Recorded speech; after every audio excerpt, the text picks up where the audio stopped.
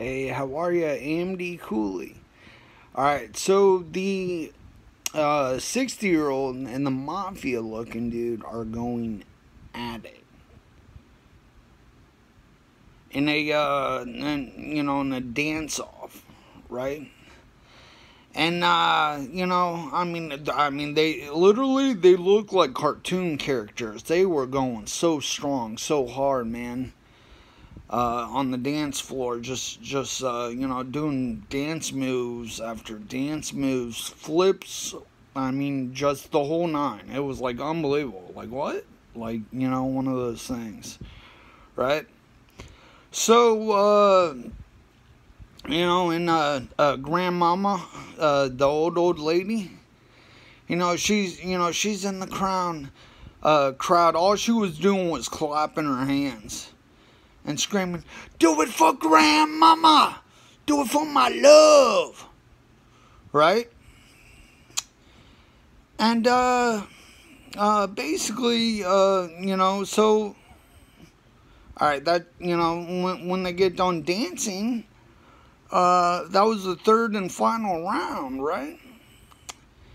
And out comes AmdCooly from the kitchen, right? You know, in his uh, dishwashing uh, little apron.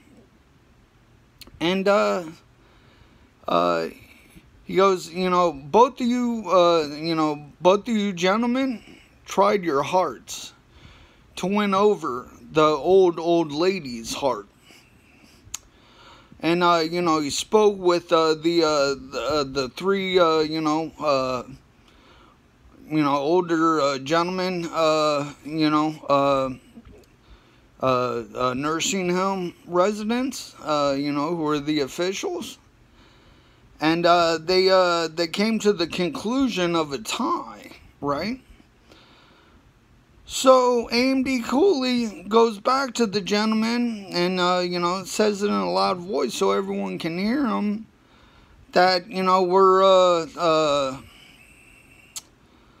uh, you know, we're, we're, you know, it's a tie. And uh, we're going to be going into a lightning round. And as he's explaining the overtime rules, the old, old lady starts skipping over to the mafia looking dude. And they start making out. And I mean, her literally, like, I couldn't believe her mouth opened that wide. I mean, it was. It was a pretty intense kiss.